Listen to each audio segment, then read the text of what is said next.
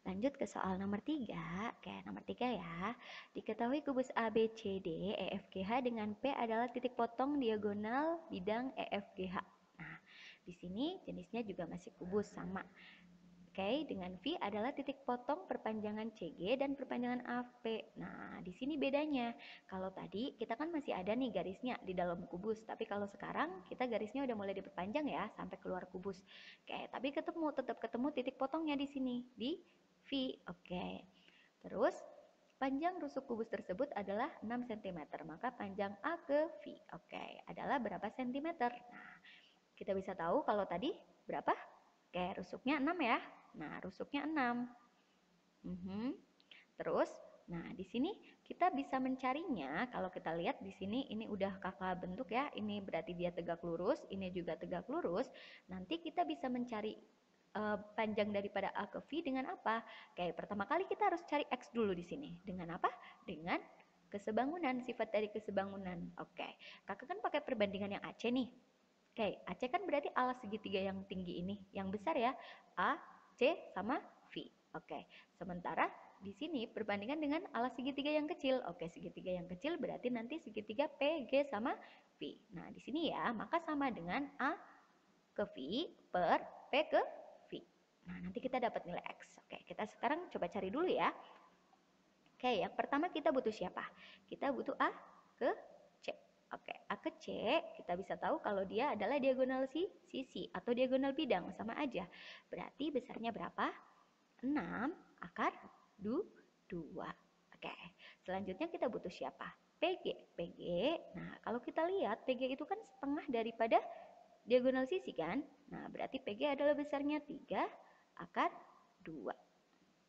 Oke, terus kita butuh siapa? AP. Betul, AP. Nah, kita bisa kemarin udah lihat ya kalau misalnya AP ya di situ adalah besarnya sama aja dengan setengah oke setengah dikali rusuknya berapa 6 jangan lupa karena dia ke titik tengah berarti akarnya 6 ya oke berarti besarnya sama dengan 3 akar 6 nah oke sekarang kita bisa cari ya nah kalau misalnya AC AC kan kita udah punya nih AC adalah 6 akar 2. Oke, per siapa? PG. PG juga kita udah tahu. 3 akar 2. Oke, sama dengan, nah, sama dengan siapa?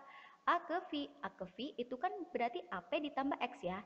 Berarti boleh dong kakak tulis di sini. Berarti jadi 3 akar 6. Oke, kita tambahkan dengan siapa? Si X. Nah, terus sekarang kita ke P ke V. P ke V itu cuma X. Oke, ini sama ya? Boleh dicoret ya? Boleh dong. Ini perkecil juga boleh ya? Oke, berarti kalau diperkecil ini jadi berapa? Oke, ini boleh kita coret, ini kita coret, ini kita jadi dua, ini jadi satu. Oke, berarti kalian ke sini. Berarti 2X, oke, akan sama dengan 3 akar 6 min atau plus? Plus, plus X ya. Berarti X-nya pindah ruas ke sini. Berarti 2X dikurangi X. Iya, sisanya tinggal X sama dengan 3 akar 6. Nah, kita udah dapat X. Yang ditanya tapi bukan X. Yang ditanya adalah A ke V. Betul, A ke V itu kan sama dengan si siapa? Si AP mhm, -huh, ditambah dengan si. Betul. Berarti sama dengan 3 akar 6 hmm, akan kita tambah juga dengan 3 akar 6. Berarti hasilnya totalnya adalah 6 akar 6.